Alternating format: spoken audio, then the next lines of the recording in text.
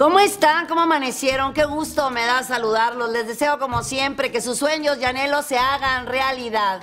Vamos a aprovechar la energía de Marte, de Venus, de Júpiter, de todos los planetas para el amor, para el romance, con la luna llena, bueno, de maravilla. ¿Qué vamos a hacer? Pues hablar, abrazar, besar, mandar cartas, decir lo que llevamos en el alma y en el corazón. No esperemos más. La vida se va en un abrir y cerrar de ojos, como para qué nos esperamos. El día de hoy es un día perfecto para decirle a quien sea lo que signifique nuestra vida. Hazlo, te vas a dar una sorpresa espectacular. ¿Por qué? Porque te van a devolver exactamente lo mismo que estás diciendo. El universo está con todos nosotros en todos los sentidos, pero especialmente en el amor, en el romance y en la pasión. Y el horóscopo mensual para ti, mi querido Sagitario, vienen cambios muy buenos en tu economía. Después de dos, tres presiones que has estado viviendo, todo va a funcionar de manera adecuada. Hay mucha armonía y equilibrio en tus finanzas. Y sin más, me voy con las recomendaciones astrológicas. Mi querido Aries. Levante el ánimo, pon una sonrisa en los labios, que nada ni nadie te mueva de tu centro. Tú eres alegría, felicidad, eres el bebé del zodiaco, síguelo siendo. Y los comentarios de los demás, no los escuches. Para los Tauro, vienen viajes a tu vida o planificación, cambios de vehículo, cambios de trabajo y cambios en tus ingresos. Para los Géminis se les presenta la oportunidad de arreglar situaciones de papeleo, de comunicación, contratos, acuerdos o la oportunidad de hacer un cambio en casa o tal vez una remodelación.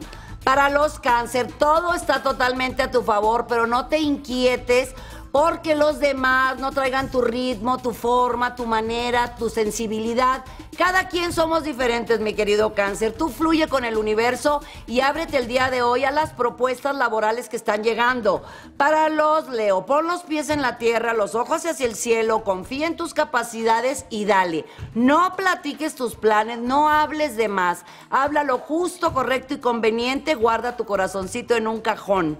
Para los Virgo, la buena fortuna, la abundancia y la prosperidad te están acompañando. Es el momento de avanzar, de no dudar, de confiar, de creer, de darte la fuerza interna que tú tienes para decirte, yo puedo, yo soy, yo la hago. Dale, mi querido Virgo.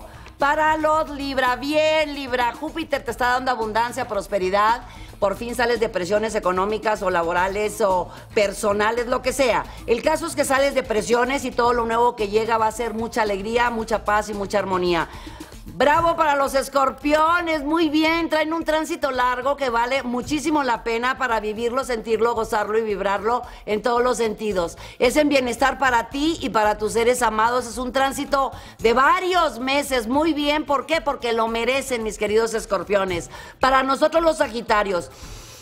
Inhalamos y exhalamos cuantas veces sea necesario en el transcurso del día. El día de hoy mojarritas enjabonadas. Créanme que tenemos todas las de ganar. Pero si nos gana el carácter, el impulso o el temperamento, Uy, podemos tirar las cosas por la borda. Así que mojarritas enjabonadas. Capricornio, vas a estar en una junta, evento, reunión, negociación, acuerdo que vale muchísimo la pena para cuestiones profesionales a muy corto plazo. Los Acuario, medita, analiza y observa qué es lo que tú quieres, hacia dónde vas y cuál es tu objetivo de vida. Y lo que digan los demás, que lo sigan diciendo. Tú sabes quién eres y qué quieres. Por ahí dale, mi querido Acuario. Y para los Piscis, tienen la oportunidad de arreglar situaciones sentimentales, familiares y también cambios dentro de tu vida financiera muy buenos cambios en lo económico y también la posibilidad de hacer una compra de casa, la remodelación de ella o hacer cambios en tu forma de ver la vida.